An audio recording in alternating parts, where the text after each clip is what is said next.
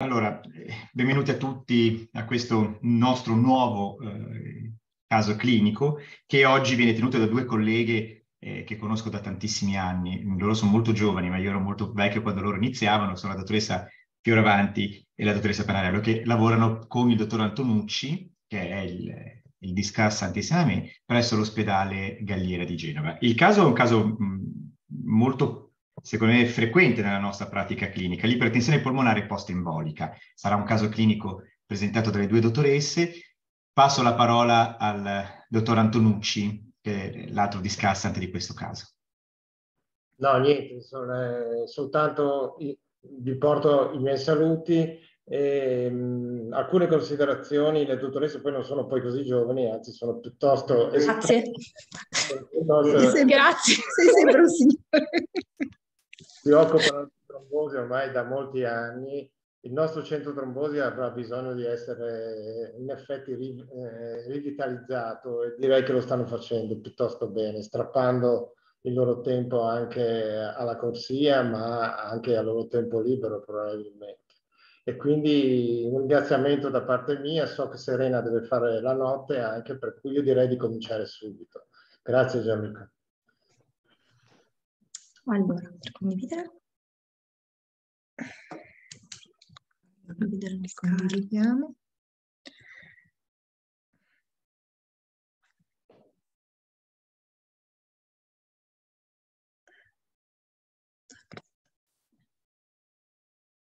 La positiva corrente. Okay. Allora, buon pomeriggio a tutti. Ehm, noi portiamo eh, questo pomeriggio il caso di una, eh, di una giovane donna eh, di 28 anni, eh, senza precedenti patologici.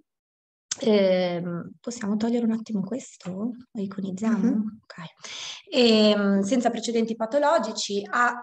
una familiarità per cardiomiopatia dilatativa, il padre è infatti portatore di eh, ICD non ha altre familiarità importanti, in particolare non ha eh, familiarità per tromboembolismo venoso. È una ragazza normopeso, non fumatrice, non fa nessuna terapia farmacologica, non ha mai avuto gravidanze ed è una ragazza sportiva. Pratica infatti regolare attività fisica eh, più volte alla settimana anche con l'uso di pesi. La sua storia comincia ad ottobre 2020 con la comparsa di dispnea da sforzo ingravescente associata ad una certa tachicardia che la limita progressivamente nell'attività fisica eh, incomincia a fare qualche esame del sangue, va tutto bene, esegue un ecocardiogramma che risulta negativo e viene posta dal cardiologo in terapia con un beta bloccante a bassa dose per via di questa lieve tachicardia. A dicembre 2020 peggiora acutamente la dispnea e eh, presenta anche un episodio sincopale eh, che lei attribuisce ad un episodio così ipotensivo, banale.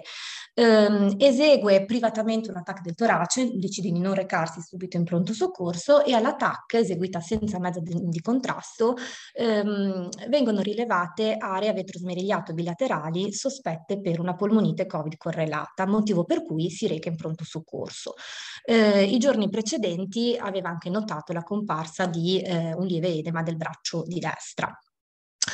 Arriva in pronto soccorso, questi sono i suoi parametri vitali, eh, 110 su 60 di pressione, tachicardica, ehm, dispnoica al minimo sforzo, presenta un edema del braccio destro con degli evidenti circoli collaterali superficiali, eh, non è ipossica ma ha un'alcalosi respiratoria, ha una tachicardia sinusale al tracciato e gli esami ematochimici mostrano un lievissimo movimento della troponina ma ha un BNP, un didimero mh, mm, significativamente aumentati. I tamponi sia rapido che il molecolare e la serologia per SARS-CoV-2 risultano negativi. Esegue un attacco del torace con mezzo di contrasto che fa vedere multipli difetti di opacizzazione segmentari e subsegmentari bilaterali e l'ecoscopia cardiaca mostra una marcata dilatazione delle sezioni di destra con segni di sovraccarico pressorio ventricolare destro, eh, con movimento paradosso evidente del set interventricolare e morfologia di shape del ventricolo sinistro, eh, tronco polmonare, ramo principale di sinistra dilatati, una PAPS stimata di circa 55 mm di mercurio eh, e, reperto un po' scomodo, anche una pervietà eh, del foranio ovale con uno shunt ancora sinistro-destro. Eh, L'ecodoppler venoso agli arti superiori conferma il sospetto di TVP, infatti dimostra una TVP completamente occludente axillo su clavia destra. La diagnosi di TEP bilaterale con disfunzione ventricolare destra in TVP axillo su clavia destra, la paziente viene ricoverata in un TIC dove la stessa sera si ipotende e eh, viene sottoposta a trombolisi. Giorni successivi le condizioni eh, migliorano rapidamente, purtroppo qualche giorno più tardi eh, si positivizza il Covid, per fortuna in assenza di eh, sintomi, e eh, verrà trasferita in un reparto dedicato dove rimarrà eh, solo pochi giorni, verrà infatti dimessa mh, mm, poi pochi giorni più tardi. Ehm, qualche giorno dopo dalla trombolisi esegue un ecocardiogramma che mostra già un quadro migliorativo, le sezioni destre sono ancora dilatate e ipocinetiche, la PAPS stimata di 39 mm di mercurio. All'ecocardio predimissione eh, si evidenzia ancora disfunzione ventricolare destra, un quadro fondamentalmente invariato, questo ecocardio non ci dà eh, PAPS cifrabile eh, per assenza eh, di rigurito tricuspidalico ehm, eh, significativo. Viene dimessa in terapia con rivaroxaban ancora in fase di carico e eh, viene appoggiata al centro trombosi, al nostro ambulatorio.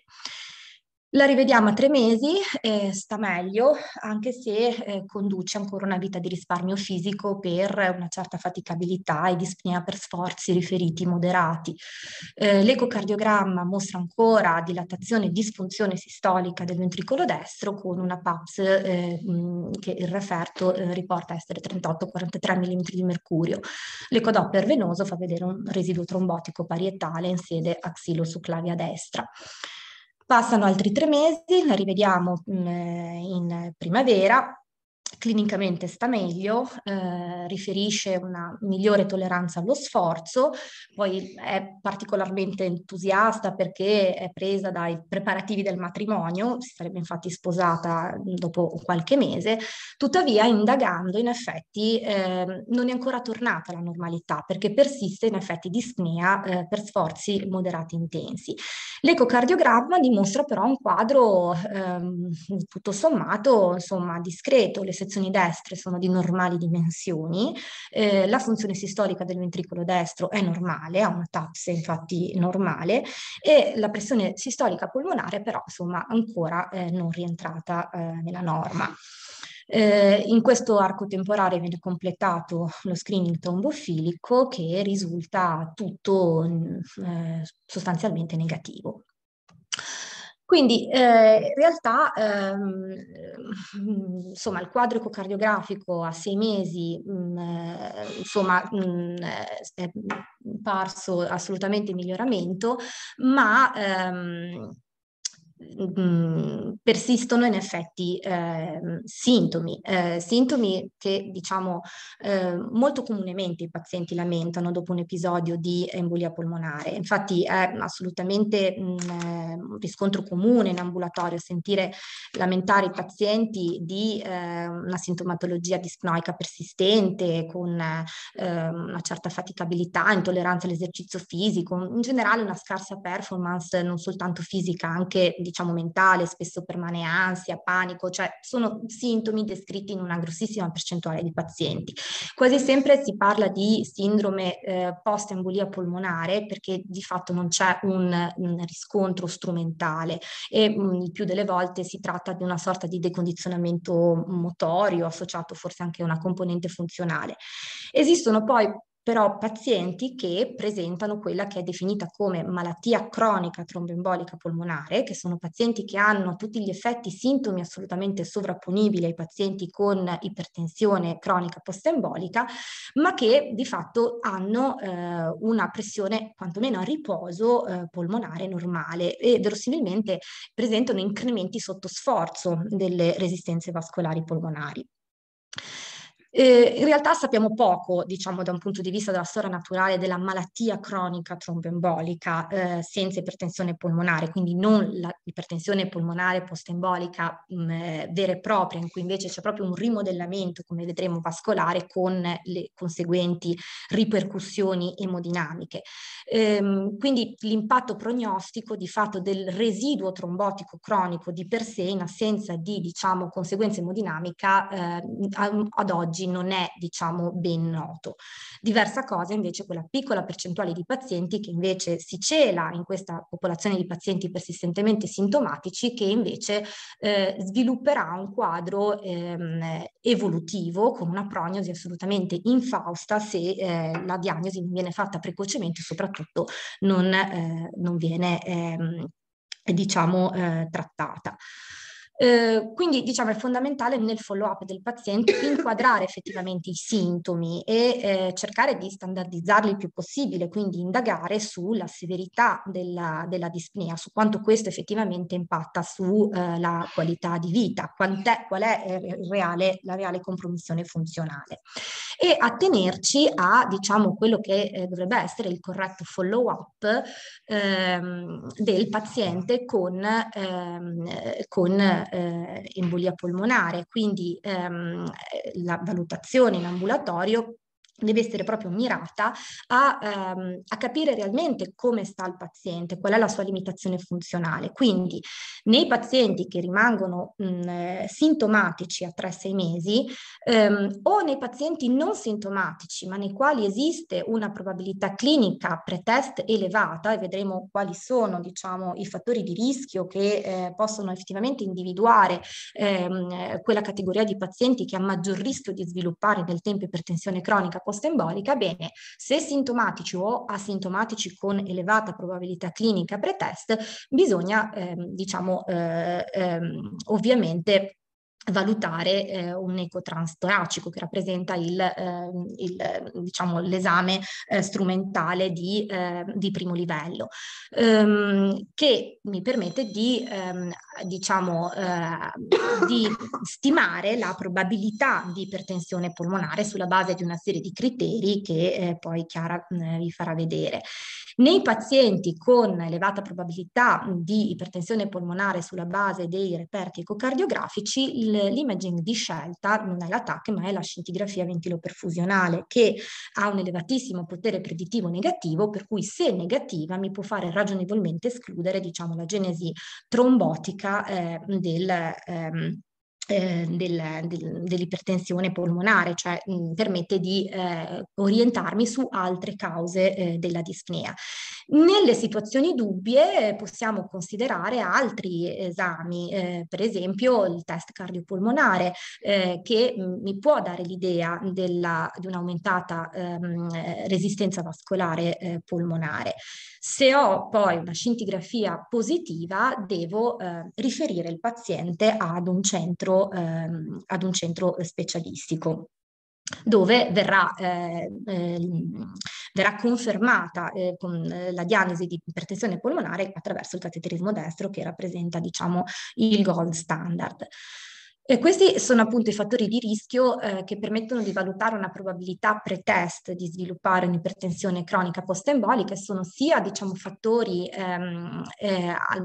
inerenti all'evento indice, no? quindi ehm, la presenza di un, di, un, di un, evento di TEV, ehm, di un grosso burden trombotico, quindi un evento di TEV mh, importante, la presenza di disfunzione al, ventricolare destra all'esordio, oppure la presenza presenza, e qui deve essere diciamo molto bravo il radiologo, di segni radiologici di una preesistente malattia cronica tromboembolica, perché in una percentuale molto elevata di pazienti in realtà l'evento acuto non è il primo evento clinico, ehm, mm, eh, o perlomeno è un evento clinico che può diciamo essere eh, preceduto da eventi subclinici, quindi noi possiamo trovarci di fronte ad un paziente che ha già dei segni di eh, malattia cronica tromboembolica.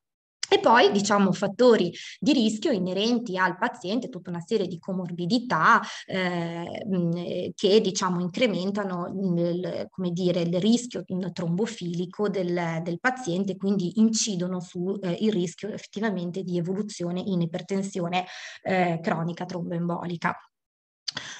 Ehm, avevamo lasciato Paola in estate fondamentalmente, si è sposata, la rivedremo in autunno eh, ed effettivamente è ancora sintomatica, non è rientrata alla normalità e i segni ecocardiografici di sovraccarico ventricolare destro in realtà eh, con qualche differenza tra un ecocardio e l'altro comunque mh, eh, sfumatamente ma ci sono,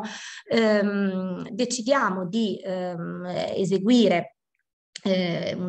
la spirometria con DLCO, ma soprattutto un test cardiopolmonare che effettivamente conferma una ridotta capacità funzionale e segni di aumentate resistenze vascolari polmonari, programmiamo una scintigrafia polmonare e in effetti ehm, eh, sono evidenti difetti di perfusione multipli bilaterali, per cui viene mh, inviata eh, la cardiochirurgia del, dell'ospedale San Matteo di eh, Pavia.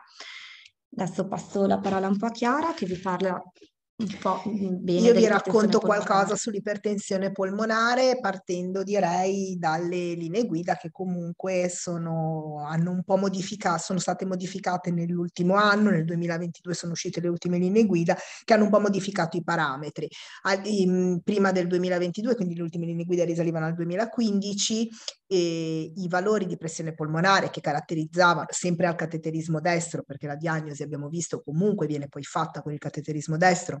si car- caratterizzavano la condizione di ipertensione polmonare per una PAPS superiore a 25 mm di mercurio con ipertensione precapillare eh, inferiore a 15 e ehm, o pres- la pressione di inquinamento polmonare inferiore a 15 e con delle resistenze vascolari polmonari superiori a 3. Eh, questo in realtà è quello che accadeva, ma oggi si, è, eh, si sono mh, abbassati i valori di PAPS perché si è visto che comunque dal punto di vista poi clinico e sull'impatto prognostico di questi pazienti in realtà eh, i pazienti che avevano pressioni polmonari tra i 20 e i 25 erano un po' borderline, spesso appunto evolvevano effettivamente in un quadro di ipertensione polmonare ehm, sintomatica. Pertanto i valori sono stati abbassati a 20 e questo ha decisamente modificato un po' la, la storia mh, di questi pazienti che per valori appunto più bassi di, per, di, di, pressioni polmonari vengono già classificati con un quadro di ipertensione polmonare cronica. Questa è la classificazione dell'ipertensione polmonare, sono cinque gruppi, noi oggi però ci occuperemo l'ipertensione polmonare idiopatica, secondaria appunto a una malattia del, del, cuore destro, secondaria a patologie polmonari, noi oggi ci occupiamo prevalentemente del quarto, occupiamo del quarto gruppo, e cioè appunto l'ipertensione polmonare eh, post-embolica. Eh, è una complicanza rara in realtà dell'embolia polmonare acuta, si caratterizza appunto per l'ostruzione cronica delle arterie polmonari, nonostante un'adeguata terapia anticoagulante di almeno tre mesi di trattamento. Questo poi diventa importante nella valutazione del, fo- di, del follow-up del paziente, perché appunto il follow-up eh, di questi pazienti va fatto dopo un congruo periodo di trattamento è l'unica, è l'importanza ehm, sta anche nel, della diagnostica precoce, sta anche nel fatto che comunque è l'unica forma di ipertensione polmonare ad oggi trattabile chirurgicamente eh, ha un'incidenza, più, mh, mm, io ho preso i dati di questo studio con uno studio osservazionale eh, con un'incidenza cumulativa a due anni del 2,3%, comunque i dati di incidenza annuale si aggirano a seconda degli studi tra l'1 e il 3%.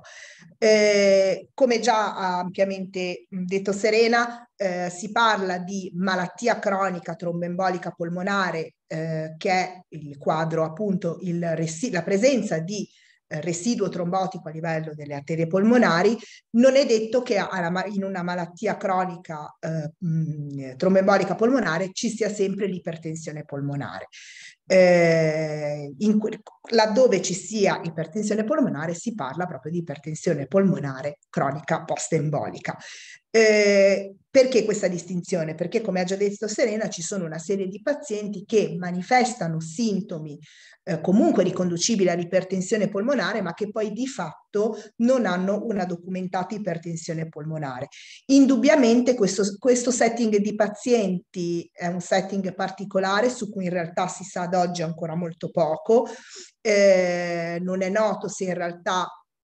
il, l'assenza di ipertensione polmonare, ma la presenza di sintomi poi sia un early stage di una ipertensione polmonare futura. Sicuramente quello che si è ottenuto con la modifica dei parametri eh, delle linee guida attuali è che questi pazienti sono veramente diventati una minoranza fra i pazienti con malattia tromboembolica cronica, sono diventati meno del 10%, quindi comunque pochi, pochi pazienti hanno questo tipo di, diciamo, di, di quadro clinico poi in assenza di ipertensione polmonare documentata. Quali sono i meccanismi fisiopatologici? I meccanismi fisiopatologici della, del, dell'ipertensione polmonare post-embolica fondamentalmente sono due. Il primo è l'occlusione delle arterie prossimali o distali per la presenza di un residuo trombotico che poi diventa di natura fibrotica. Il secondo è un meccanismo più fine legato proprio a una microangiopatia secondaria che si manifesta prevalentemente nelle zone non ostruite e legata alla redistribuzione del flusso e a un aumento delle pressioni con un conseguente danno endoteliale, quindi un meccanismo eh, microangiopatico. In questo senso eh, trovano spazio alcuni farmaci che poi vedremo eh, si sono sviluppati nel trattamento dell'ipertensione polmonare proprio per eh, andare a gestire questo tipo di problematica e quindi questo tipo di meccanismo fisiopatologico. La storia naturale, l'abbiamo già visto, eventi embolici, alterazioni ipertensive del letto vascolare polmonare, alterazioni emodinamiche del ventricolo destro con un progressivo danno cardiaco, una compromissione del ventricolo sinistro e un peggioramento funzionale cardiaco, che poi di fatto si traducono in una ridotta tollerabilità allo sforzo, dispnea, tosse, qualche volta emotisi, fino a un quadro conclamato di scompenso, quindi con cianosi, epatome, eh, con epatomegalia, ascite, edemi, eccetera. Ehm, perché l'importanza della diagnosi? Perché la diagnosi precoce migliora eh, di fatto eh, l'outcome di questi pazienti. Una diagnosi tardiva si associa inevitabilmente ad un aumento delle PAPS al momento della diagnosi e questo aumenta il rischio di morte del paziente. Eh, non influisce sull'intervento chirurgico perché eh, dal punto di vista chirurgico in realtà questi pazienti anche con diagnosi tardiva se c'è l'indicazione al trattamento possono essere trattati, tuttavia ha un, ha un, impatto sul rischio di morte del paziente. In questo senso,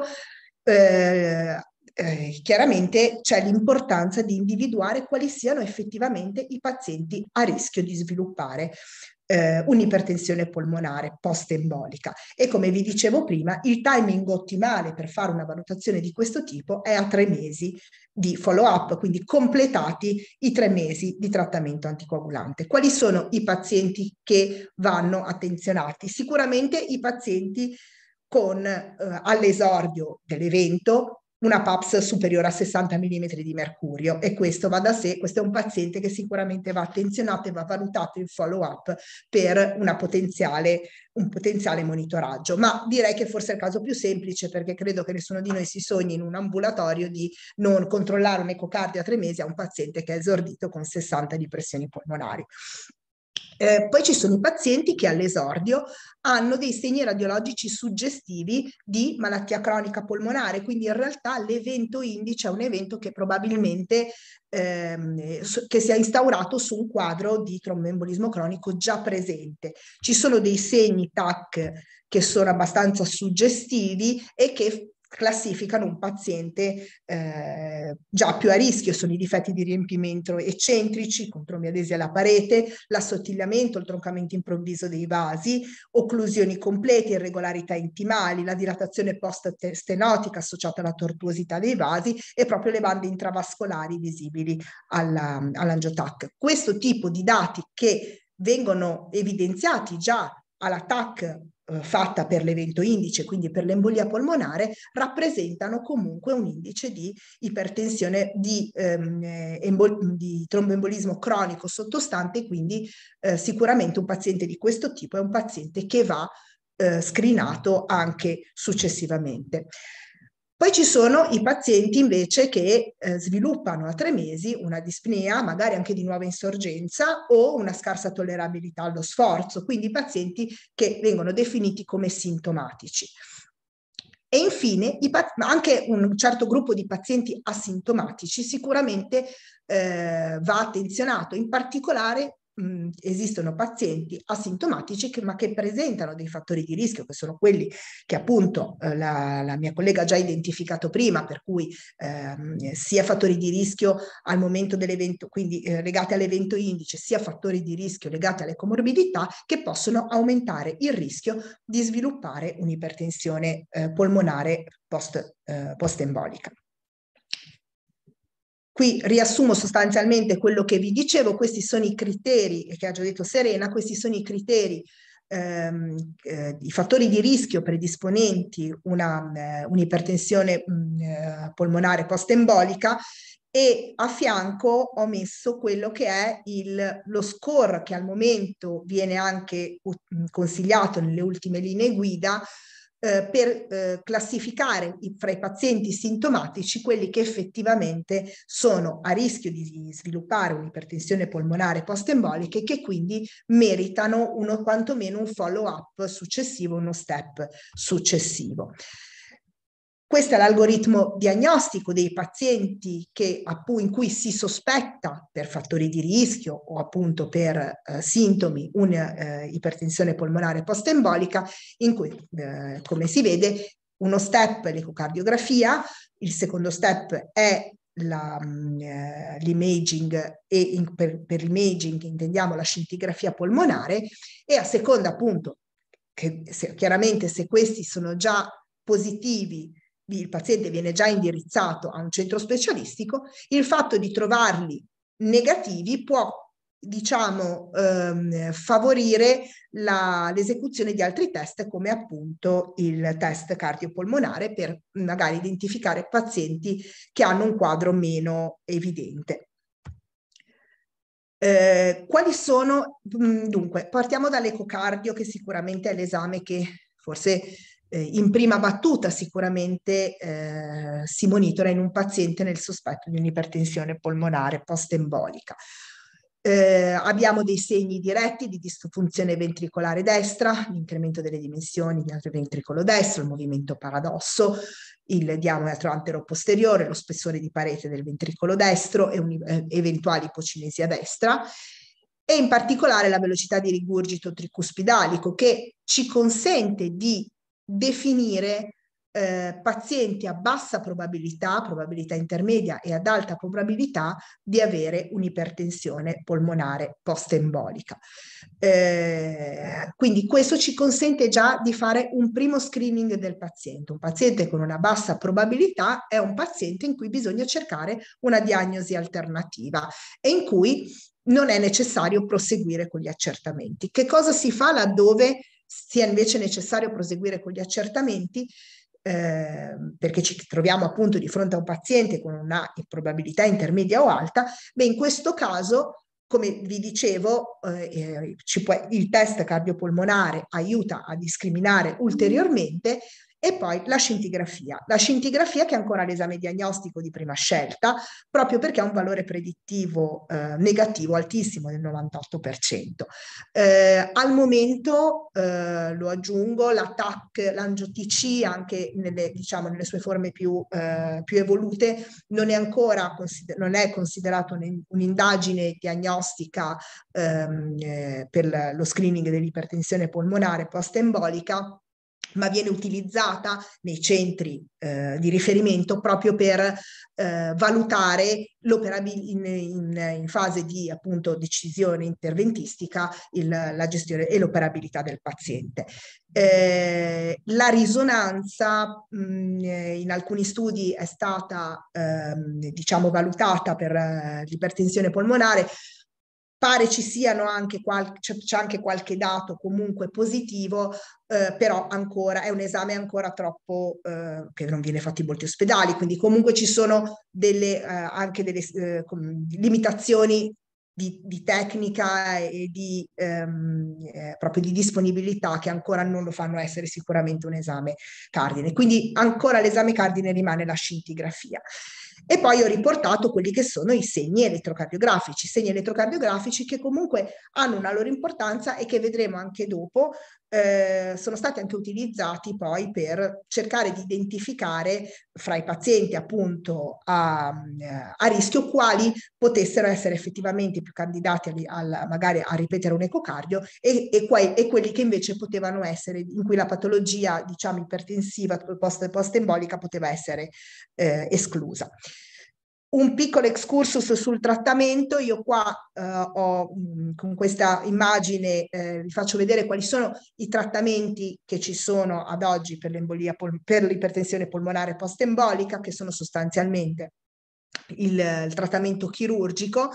eh, il, l'angioplastica e il, eh, la terapia medica. Terapia medica che in realtà interviene, come vi dicevo prima, sui meccanismi della microangiopatia, perché chiaramente sulla parte appunto occlusiva è poi la terapia chirurgica quella a fare da padrona. Io mi occuperò più della parte medica, eh, ad oggi sono l'unico farmaco che eh, è stato approvato ed è approvato a linee guida nella, nell'ipertensione polmonare eh, post-embolica, il Riociguat, e gestisce, come vi dicevo, la componente microvascolare della, dell'ipertensione polmonare post-embolica e il cardine della terapia è sicuramente la terapia anticoagulante a lungo termine. Terapia anticoagulante a lungo termine che vedremo è mandatoria e indipendente dal risultato poi sostanzialmente della chirurgia. Il Riociguat eh, eh, è stato eh, valutato in, uno, eh, in, realtà in una serie di studi, ehm, in alcuni studi randomizzati. Io qua vi ho portato l'ultimo che poi è quello che ha lo ha fatto entrare nelle linee guida nei pazienti con ipertensione polmonare post-embolica non operabile, sono randomizzati in fase 3 che si chiama CHEST 1,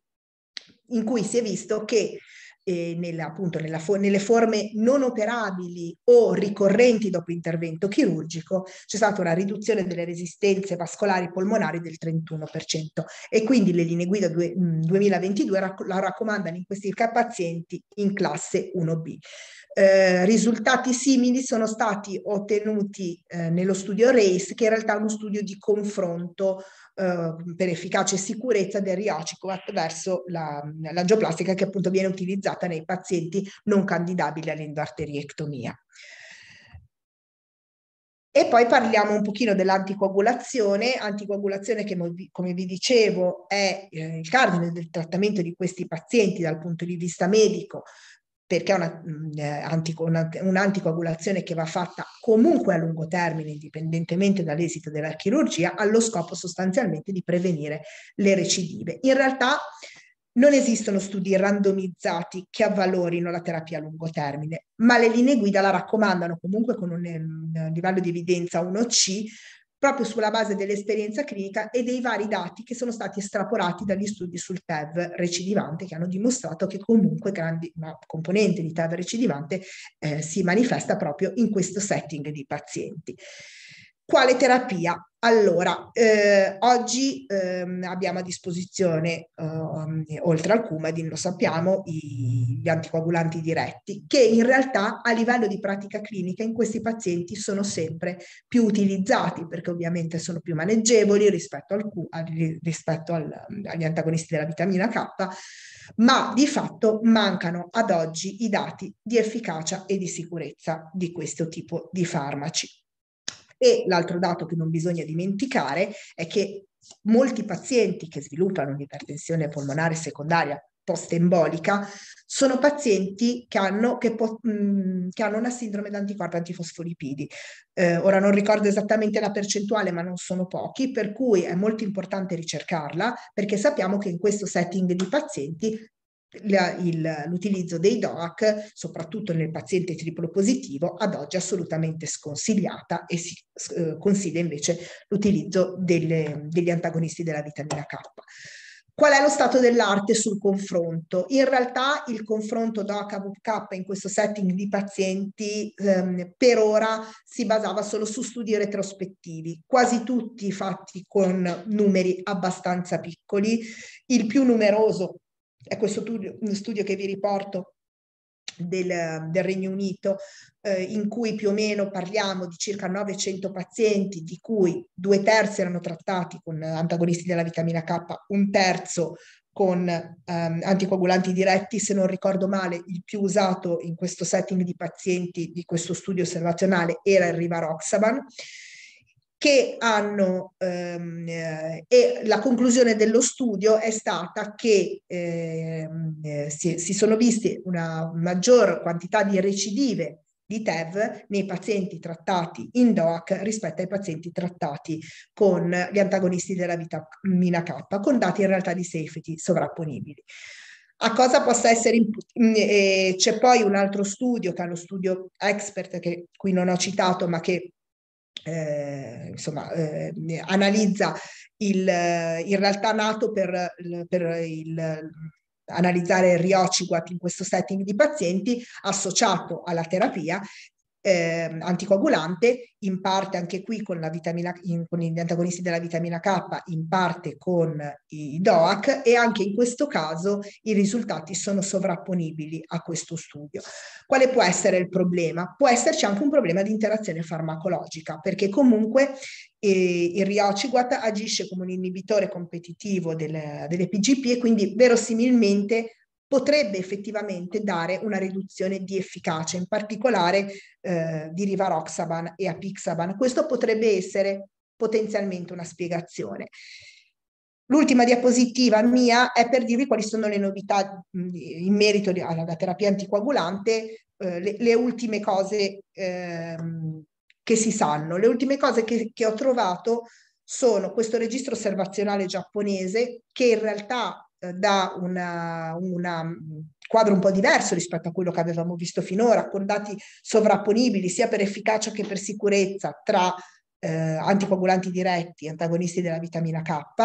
In questo registro gli anticoagulanti diretti più o meno erano ugualmente rappresentati, forse eh, l'unico che era rappresentato poco era il Dapiger, gli altri tre erano sostanzialmente in, eh, rappresentati in maniera uniforme e uno studio randomizzato, che eh, direi che è il primo studio randomizzato in doppio cieco fatto in Giappone, che, ed è il, eh, non me lo ricordo più, il... Um, Kabuki. Kabuki, grazie, grazie che mi sei venuta in soccorso, studio Kabuki, eh, che però è ancora ha appena terminato la fase di arruolamento, perché la fase di arruolamento finiva nel 2022, eh, su un piccolo numero di pazienti, perché in realtà i pazienti sono 74, quindi direi pochi, eh, che è uno studio randomizzato in doppio cieco di confronto eh, AVK versus Edoxaban, eh, quindi di cui non abbiamo ancora i dati. C'è da dire che fra gli studi che sono andata a vedere, fra gli studi osservazionali, gli studi giapponesi, e questo ve lo lascio così come dato da eh, magari analizzare, perché no, gli studi giapponesi rispetto agli studi europei e americani danno in realtà una, sostanzialmente una sovrapponibilità di, eh, come efficacia tra DOAC e AVK. Mm, non so se magari legata al tipo di paziente, al, al, probabilmente al, insomma, al, al setting di pazienti asiatici rispetto ai pazienti europei. Vai. Allora, eh, quindi noi avevamo lasciato eh, Paola, eh, che era stata valutata um, a febbraio eh, con una prima visita preliminare al San Matteo di Pavia, ehm, viene poi chiamata a maggio per ehm, eseguire il cateterismo destro, che in effetti eh, conferma la presenza di ipertensione polmonare precapillare con resistenza polmonare aumentata e compatibile con ipertensione cronica post-embolica. Ehm, per cui viene, in, eh, viene data indicazione all'intervento di endoarteriectomia, ovviamente sulla base di tutta una rivalutazione globale, strumentale, digitale. In questi centri infatti ehm, c'è proprio un team multidisciplinare in cui eh, eh, ha un ruolo fondamentale oltre che eh, il cardiochirurgo ovviamente, il cardiologo, lo pneumologo, eh, anche e soprattutto il, mh, mm, il, radiologo, il radiologo mm, esperto di malattie vascolari polmonari perché poi di fatto deve fornire una mappatura dell'albero vascolare polmonare sulla base della quale si stabilisce eh, l'operabilità del paziente perché ehm, i criteri di operabilità ehm, ovviamente della tipologia di intervento ehm, eh, sono diciamo fondamentalmente ehm, criteri di sede anatomica come vedremo. Eh, l'intervento poi verrà posticipato di un po' di mesi perché purtroppo Paola ha riportato una complicanza post-procedurale, ha sviluppato un ematoma retroperitoneale ehm, ehm, legato a, diciamo, alla procedura di, ehm, legato all'accesso diciamo, femorale e, e, l'intervento è stato posticipato a risoluzione, a completo riassorbimento dell'ematoma e viene operata ad ottobre, quindi eh, è stata fatta una diagnosi più o meno a 12 mesi, ehm, l'intervento, il cateterismo destro ha un anno e mezzo dall'evento indice e qui ci troviamo fondamentalmente a quasi eh, due anni dal, dal, dall'esordio della malattia. E vedete i parametri emodinamici al cateterismo destro, pre-intervento chirurgico e post-intervento chirurgico, vedete come le pressioni in arteria polmonare, le pressioni medie si sono ridotte, non erano diciamo eh, pressioni marcatamente aumentate, vedete come è migliorata la portata cardiaca, si sono quasi dimezzate le resistenze polmonari. Il risultato operatorio è stato definito buono, eh, sicuramente da un punto di vista dei sintomi Paolo ha avuto una risoluzione completa dei sintomi abbastanza immediata e un netto miglioramento funzionale. Eh, diciamo giusto mh, mh, qualche cosa sulla tromboendarterectomia polmonare da non addetti ai lavori, ovviamente è un intervento di chirurgia conservativa che consiste nella disostruzione dei vasi polmonari dal materiale tromboembolico e dal gold standard nelle ostruzioni prossimali, quindi eh, arterie principali, lobari e segmentari. In realtà mh, mm, eh, diciamo ne, negli anni si è assistito a, mh, ad un aumento del numero di pazienti ritenuti operabili perché ehm, molto spesso si operano anche lesioni subsegmentari, trombosi subsegmentarie come in questo caso e questo per l'affinarsi delle eh, tecniche chirurgiche. In particolare ehm, il professor Darmini ci ha spiegato come mh, mm, il, l'intervento di endoarteriectomia polmonare che esegue a Pavia ehm, mh, mm, si svolge mm, secondo mh, una tecnica innovativa introdotta ehm, proprio dal team di Pavia che prevede dei periodi di ehm, circolazione extracorporea ehm, con arresto di circolo intermittenti intermittenti intervallati da brevi periodi di riperfusione che permettono di, ehm, di indurre un'ipotermia in realtà moderata, allungano di molto il tempo operatorio, questi sono già interventi di base molto lunghi, di oltre 12 ore molto spesso, e consentono quindi al chirurgo tutto il tempo, prendersi tutto il tempo necessario per, diciamo, disostruire minuziosamente anche i rami polmonari, diciamo, ehm, eh, subsegmentari. Eh, quello che noi dobbiamo sapere come, diciamo, non addetti lavori, al di là insomma, di queste eh, giusto informazioni un po' generali sull'intervento, è che l'età avanzata non è una controindicazione di per sé all'intervento chirurgico e non esiste un valore soglia di disfunzione ventricolare destra che lo precluda. La mortalità post-operatoria attualmente è sotto il 5%, quindi ehm, diciamo, si è assistito negli ultimi 20, eh, 20 anni ad una diciamo, notevole, ehm, dire, una notevole acquisizione di esperienza nei centri, nei pochissimi centri, perché comunque ci saranno una decina di centri al mondo che comunque se ne occupano. Ehm, è una metodica che è stata introdotta negli anni 80 e la mortalità inizialmente era molto molto elevata, adesso in mani esperte la mortalità post-operatoria è inferiore al 5%. E la la sopravvivenza è attualmente a 5 anni di oltre l'80% rispetto a diciamo quanto si osservava mh, mm, mm, pochi anni fa quando ehm, era diciamo ehm, sicuramente vi era un'esperienza minore e teniamo conto che nei pazienti non operati la sopravvivenza a 5 anni è inferiore al 50%. Questi pazienti sviluppano già in sala operatoria un miglioramento emodinamico, eh, quindi un crollo delle resistenze vascolari polmonari si osserva già in sala operatoria e poi nelle settimane, nei mesi successivi hanno proprio un rimodellamento inverso del eh, ventricolo destro. Questo si traduce in un netto miglioramento eh, funzionale e della qualità di vita eh, nella stragrande maggioranza dei pazienti.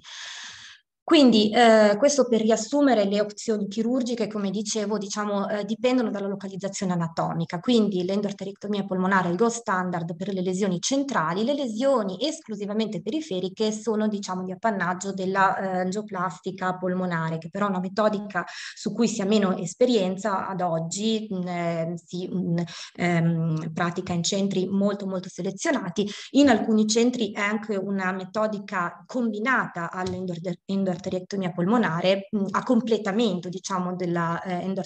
polmonare ehm, per diciamo ultimare il risultato sulle localizzazioni più eh, distali. Ehm, e poi abbiamo detto la terapia medica, che anche questa può essere, diciamo, eh,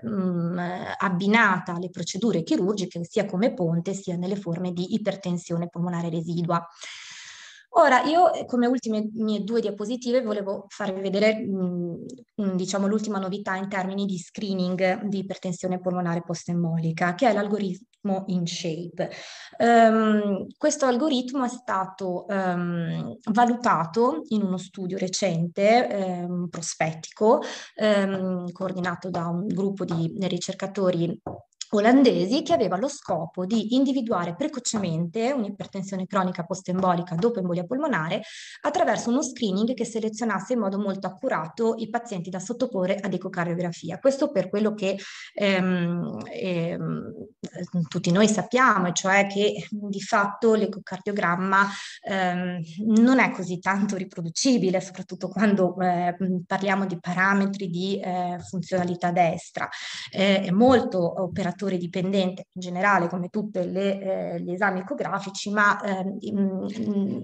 è esperienza penso di tutti noi effettivamente far fatica tante volte a eh, diciamo ehm, ehm, come dire confrontare no? diversi eh, referti ecocardiografici, la sensibilità in effetti e specificità non è, eh, non è elevata, quindi si assiste molto spesso a, um,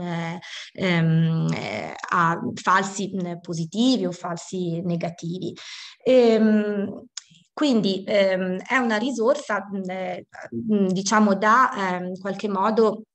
eh, ottimizzare sicuramente. Eh, in, questo, eh, in, questo, studio i pazienti venivano inizialmente ehm, screenati sulla base di uno score predittivo, una probabilità clinica pretest, che è quella che ha già fatto vedere Chiara, poi vi farò vedere nella, diapositiva, nella prossima diapositiva, che mh, permetteva di diciamo, classificare i pazienti clinicamente in pazienti ad alto o basso rischio. Nei pazienti ad alto rischio, eh, in base a questi criteri che vedete, vedremo eh, pretest e nei pazienti a basso rischio eh, di ipertensione cronica post-embolica ma con sintomi compatibili con ipertensione cronica post-embolica, lo step successivo era la valutazione di criteri eh, di eh, esclusione. Criteri di esclusione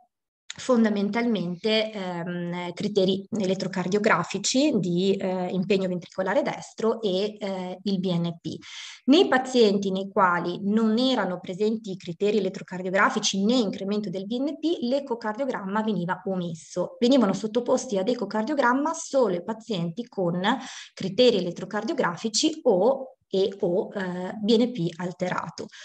Bene, applicando questo eh, algoritmo sono stati classificati correttamente ehm, 342 su 343 pazienti, quindi non è stato individuato soltanto un paziente, quindi solo un paziente che era stato giudicato non meritevole di ecocardiogramma al follow up entro due anni ha ricevuto una diagnosi di ipertensione eh, cronica tromboembolica. Quindi ehm, questo diciamo, algoritmo ha permesso effettivamente di eh, escludere con un, un grosso margine di certezza certezza eh, l'ipertensione cronica tromboembolica ris- mh, mh, eh, utilizzando l'ecocardiogramma solo nel 19% dei, eh, dei pazienti. Eh, questo è l'algoritmo in shape appunto che vi dicevo che non, è ancora, eh, non fa ancora parte delle linee guida ma diciamo è stato accolto con eh, un, diciamo, un, certo, un, certo, entusiasmo. Um, I criteri di probabilità clinica pretest sono questi, vedete che alcuni sono intuibili, eh, altri molto meno, tipo l'ipotiroidismo o il, così, il, il valore protettivo del diabete mellito, comunque da prendere così com'è, ehm, e il, i criteri invece di ehm, uh, rule out, che sono appunto criteri elettrocardiografici e il BNP, quindi probabilità clinica pretest alla diagnosi, stratificazione in alto e basso rischio, ecocardiogramma eh, nei pazienti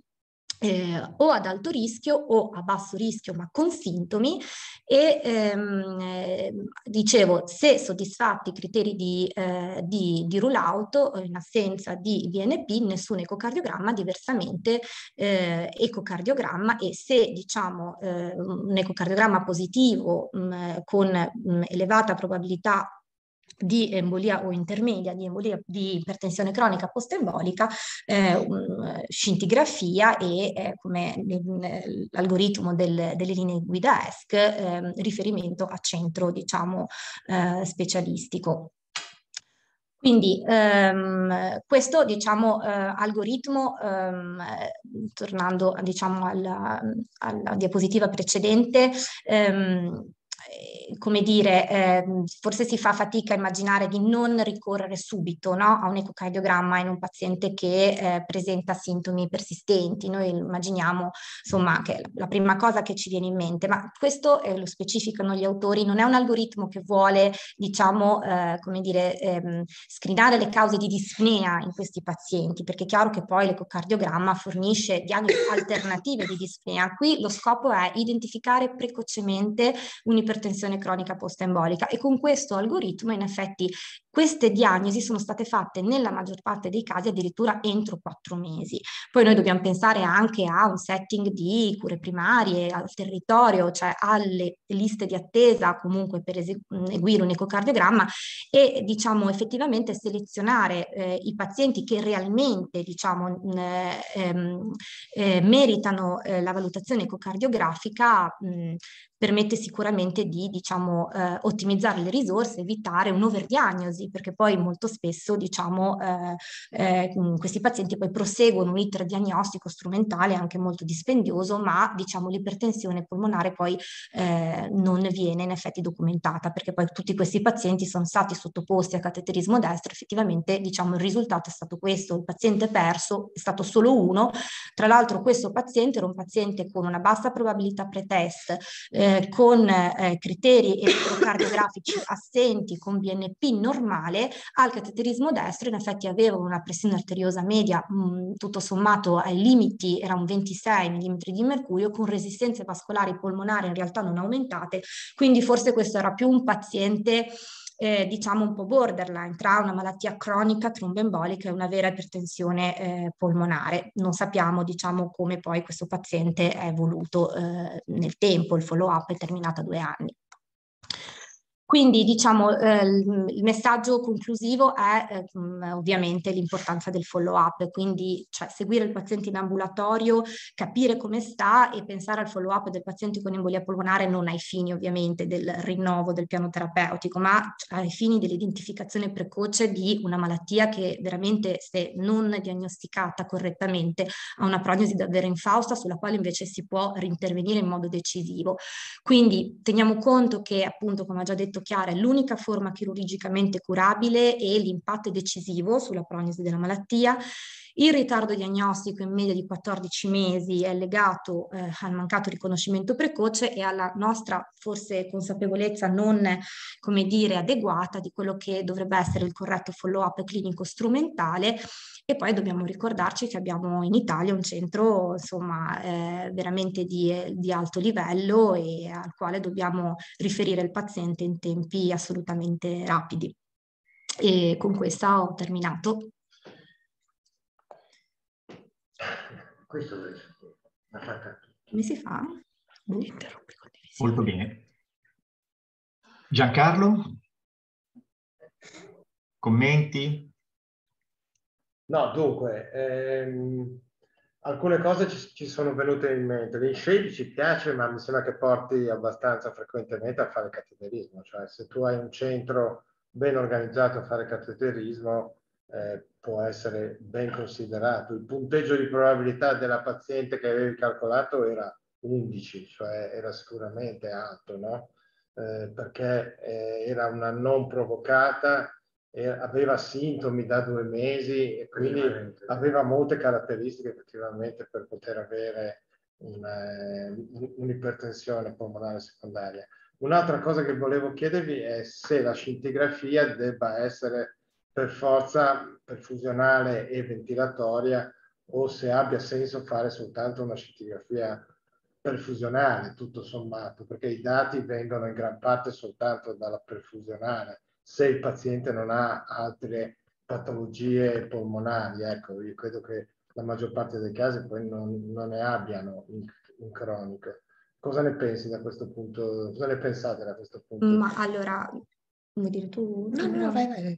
Dipende dal paziente, è chiaro che l'accuratezza di una scintigrafia, ehm, diciamo, eh, in un, in un, ventilo perfusionale in una paziente, diciamo, sana verosimilmente a livello del parenchima polmonare, eh, può essere, diciamo, sovrapponibile all'accuratezza di una sola scintigrafia perfusionale. È chiaro che diventa un po' più complicato eh, nei pazienti, diciamo, con comorbidità, con pneumopatia, per cui ehm,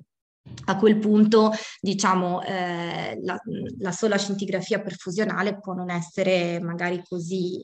Eh, in questo senso, diciamo, l, credo che sia promettente la, ehm, la dual energy, no? Sì, TAC, che, che, nei pazienti con grave compromissione parenchimale, diciamo, offre sicuramente dei grossi, da, da tante informazioni funzionali anatomiche